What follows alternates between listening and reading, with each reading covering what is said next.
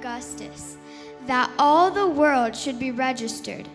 This census first took place while Quirinius was governing Syria. So all went to be registered, everyone to his own city.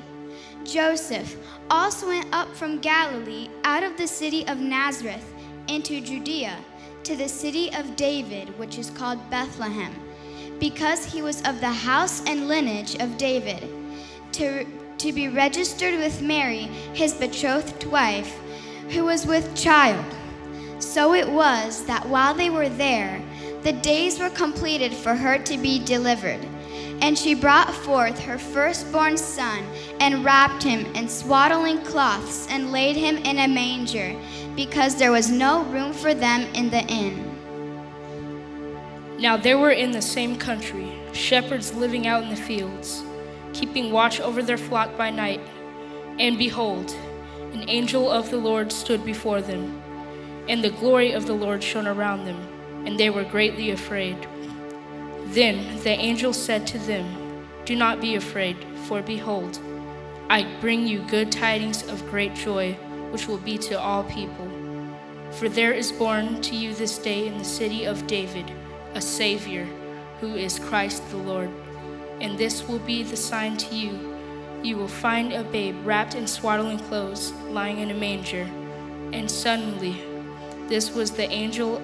It, there was with the angel a multitude of the heavenly host praising God and saying, Glory to God in the highest, and on earth peace, goodwill toward men.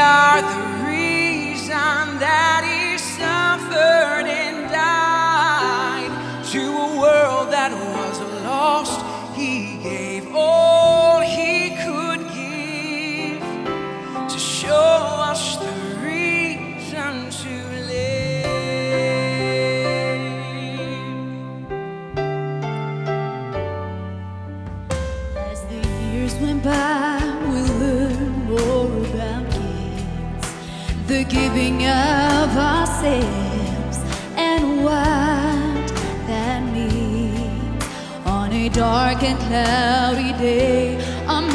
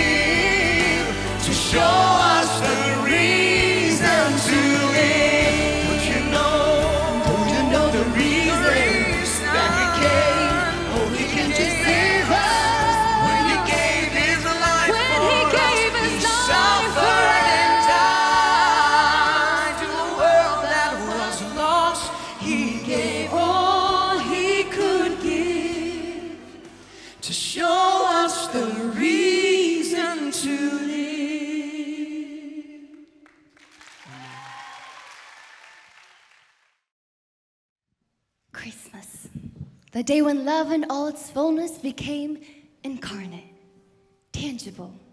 A love that knows no bounds was Bound in strips of cloth. Tiny arms wrapped tightly. Arms that came here to embrace all of mankind in forgiveness. To be with us. Emmanuel, God is with us.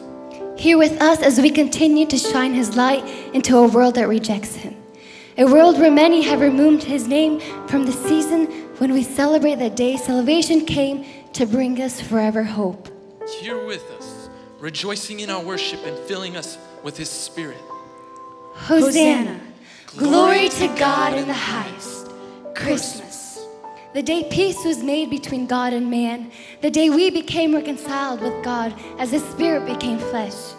The God of all creation became one of us. Jesus, Prince of Peace. Peace that is beyond our understanding. Peace that abides in us though the world is filled with trouble. Peace that comes in knowing that He cares for us. He has overcome war. He has overcome death. He has overcome the loneliness and grief some of us feel so deeply this time of year. So let us take heart. Take heart in our wonderful counselor who understands the things that are beyond our comprehension. Jesus, wonderful counselor, upon whom We can cast all our cares knowing He cares for us. Hosanna. Glory to God in the highest. Christmas.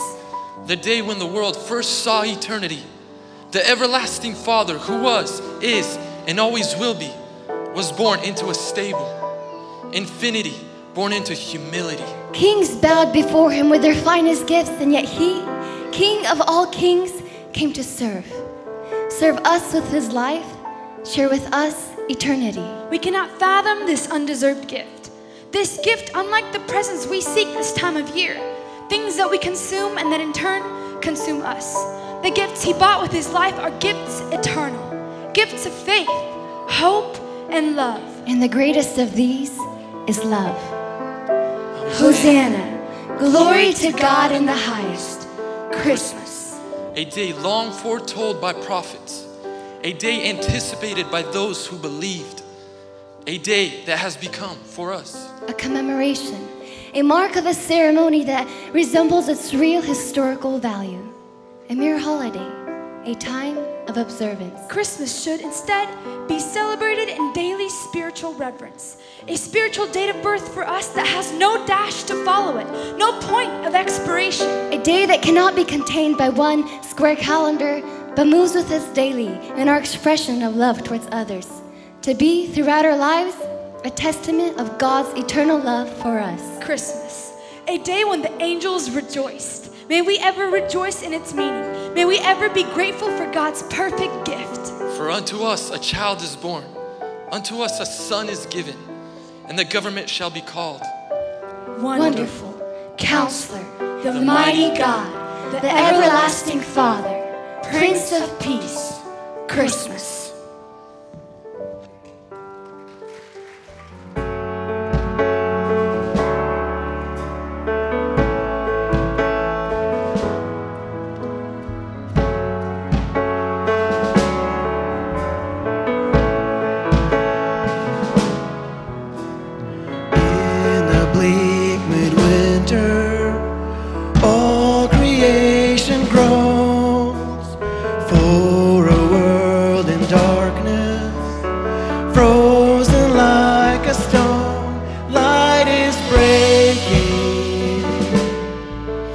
In a stable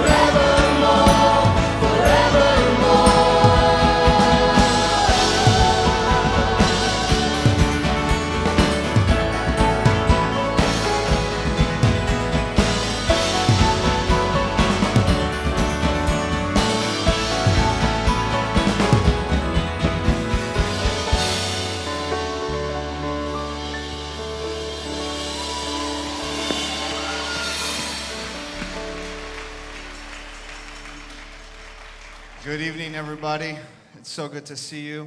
I want you to stand to your feet tonight as we take a minute and really acknowledge who is the reason for this season. Amen.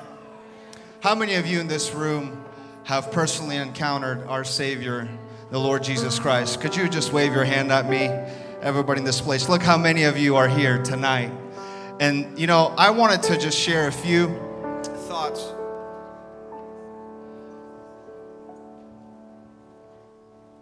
About this moment and what this moment really is to us.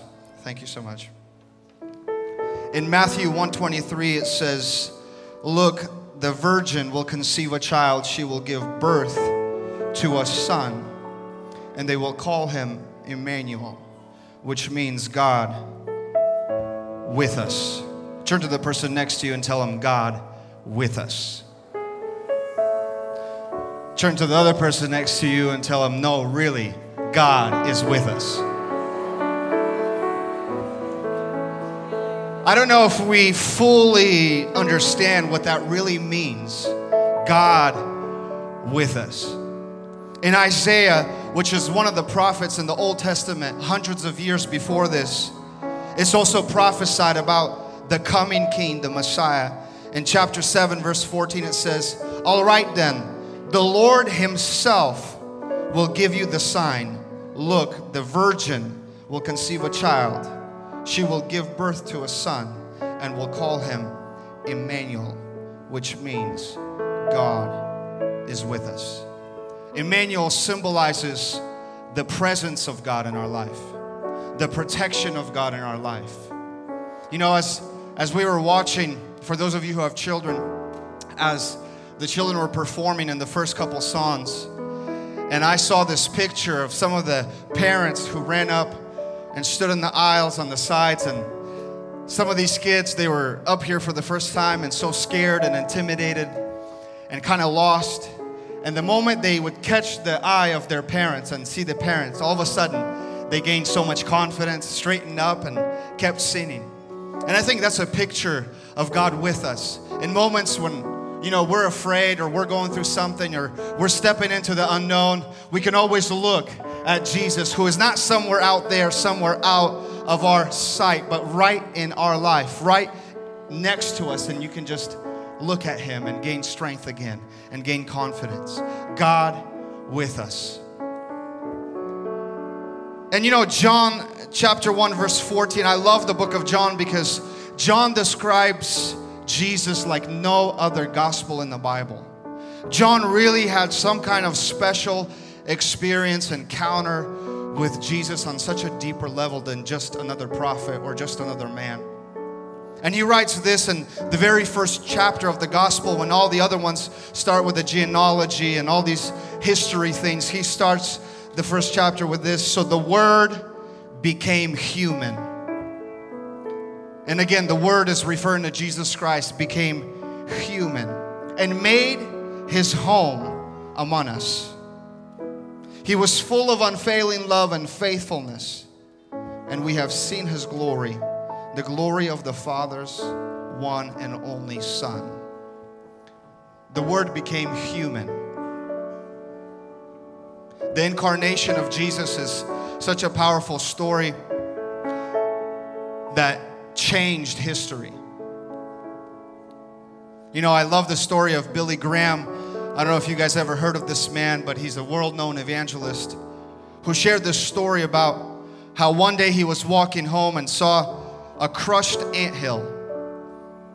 You know, and, and he saw how this perfectly prepared ant hill was crushed, and some of the ants were dead and injured, and, and there was such chaos. And he looked down at this little ant hill and said, Man, I wish I could become an ant and somehow help them. He understood that if he would tell them what to do, it wouldn't help. If he would scream louder, it wouldn't change anything. The only way he could impact Ant's life is only to become an ant. But he said, as I thought this, I just walked on by and went inside my home. And a few hours later, the Lord spoke to me about this. And he said, I saw a picture how the Lord didn't walk by. When he saw this world dying in sin, when he saw the chaos that was happening, the Bible says that he became human. He became human. And the incarnation of Jesus is reconciling the world to himself.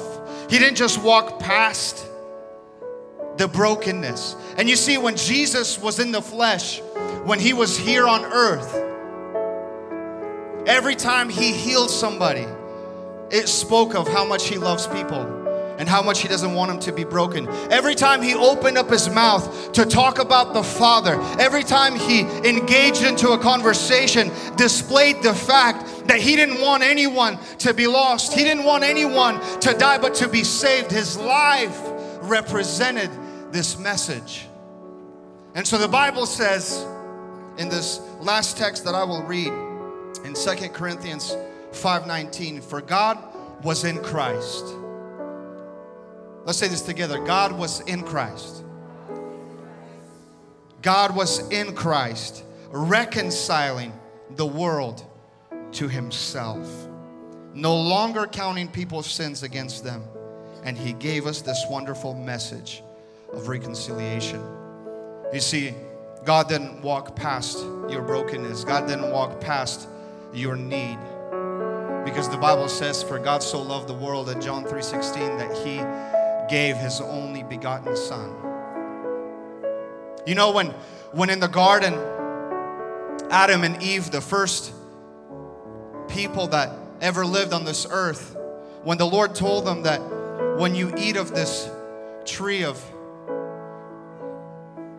knowledge, you will die.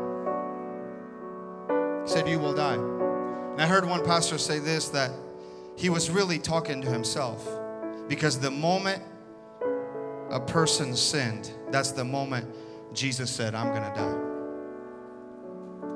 You will die. But thousands of years later, the Son of Man became flesh and died in your place so that you no longer have to die, but live and have everlasting life. Come on, let's give praise and honor to the King of Kings in this house. His name is Jesus. His name is Jesus. Come on, give, give him thanks for his unfailing love, for his grace, for his faithfulness. Jesus, we worship you in this place. Come on, it's appropriate to lift up your hands right now and just begin to thank him that he didn't walk past you, that he became human, that he revealed himself to you, that you can have life and life everlasting, that you can have hope, that you can have healing. Jesus, we adore you in this place. Lord, we worship you in this place. We say, Jesus, you deserve all the glory, all the honor, all the praise. God, and it's your kindness. It's seen the price that you paid. It's the kindness that was displayed, the love that was displayed for humanity that leads us to repentance. You gave your life so that we could live. You shed your blood on the cross and died in our place so that we can have life and life everlasting.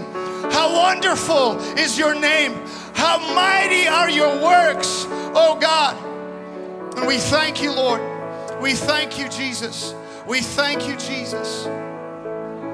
We thank you, Lord. And right now, I just want to ask you tonight after acknowledging what took place, the greatest joy the Lord has is when you respond to his sacrifice, when you respond to his love that he has shown you. And the Bible says that Jesus is the gate unto salvation, that no one can be saved and, unless it's through him. He is the door, he is the way, he is the truth, he is the life. And listen, it doesn't matter whether you grew up in church or maybe it's your first time here or maybe somebody invited you. But today you want to make that decision and say, Jesus, I, I want to know you. I want to have a personal encounter with you. I want to surrender my life to you. If that is your heart, if that is your desire tonight, maybe you don't know how to do this correctly. Maybe you don't know everything else that needs to take place after this, but in your heart right now, you sense that this is the day that you need to make that decision. Would you just lift your hand right there where you're at? I just want to pray a prayer with you. if you're in agreement with me, would you just lift your hand where you're at? Just slip it up real quick so I could see you. Thank you. I see your hand. Thank you. Thank you. I see your hand in the back. Praise the Lord. The Bible says that all of heaven rejoices when one returns to Him. See, He's your creator. And He purchased you with His own blood. But He gave you a choice to choose Him. That's why it's love. It's love. Right now, let's close our eyes all over this place. I want to just give another moment. If anybody else, would you just slip up your hand just so I can see you? With every eye closed, if you want to make a decision to follow Jesus tonight.